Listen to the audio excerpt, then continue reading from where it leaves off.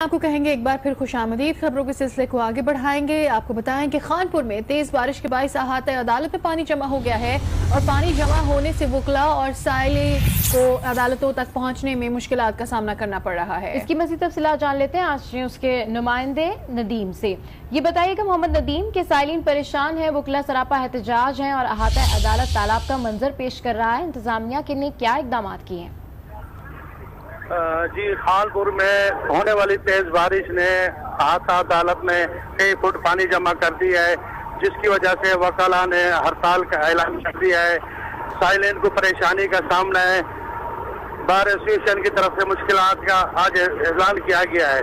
लेकिन हंगामी हालात के बायस अभी तक पानी नहीं निकाला गया। जी। अभी तक पानी नहीं निकाला जा सका। अदालत के अहाते में पानी जमा हो गया है। तेज बारिश की वजह से हमें हमारे नुमाइंदे अपडेट कर रहे थे। मोहम्मद नदीम, बहुत शुक्रिया आपका।